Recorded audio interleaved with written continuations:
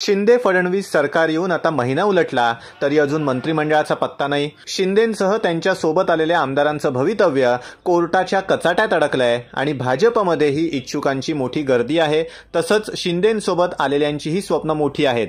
त्यामुळे मंत्रिमंडळाच्या विस्ताराला वेळ लागत असल्याचं बोललं जात आहे भाजपचे एकशे सहा आमदार आणि शिंदेचे चाळीस या एवढ्या मोठ्या आकड्याचं गणित कसं बसवायचं या विचारात भाजपचे वरिष्ठ नेते आहेत.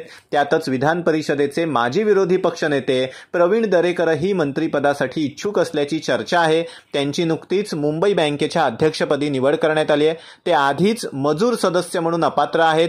तरीही भाजपनं काहीशी तडजोड करत दरेकरांना मुंबई बँकेचं अध्यक्षपद मिळवून दिलंय. त्यामागे भाजपचं काहीतरी धोरण असल्याची कुजबूज जोरात सुरू आहे. काय असू शकतात ही धोरणं? पहा.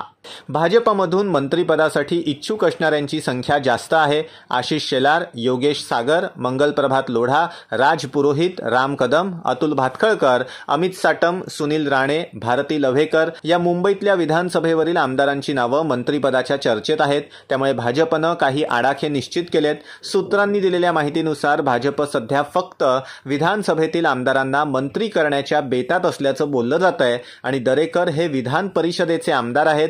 म्हणूनच त्यांना मंत्रिपदाऐवजी मुंबई बँकेचं अध्यक्षपद देत त्यांची बोळवण केल्याची चर्चा आहे.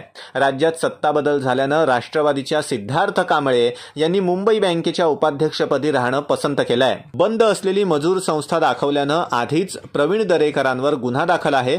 तरीही ते अध्यक्ष होऊ शकतात का असा प्रश्न आता विचारला जातोय. या सगळ्या परिस्थितीत काहीशी सेटलमेंट करत भाजपनं दरेकरांची मुंबई बँकेवर वर्णी लावल्याचं बोललं जात आहे कारण भाजपमधीलच इच्छुकांची गर्दी बघता मंत्रीपद देण्याऐवजी किमान बँकेचं अध्यक्षपद तरी देऊन दरेकरांची बोळवण करावी असं धोरण भाजपनं अवलंबल्याचं चित्र सध्या तरी आहे. असोच हा व्हिडिओ तुम्हाला कसा वाटला हे आम्हाला कमेंट करून नक्की सांगा. तुम्हाला व्हिडिओ आवडला असेल तर आमचं यूट्यूब चॅनल सबस्क्राईब करा. फेसबुक पेज लाईक करा. व्हिडिओ पाहिल्याबद्दल धन्यवाद.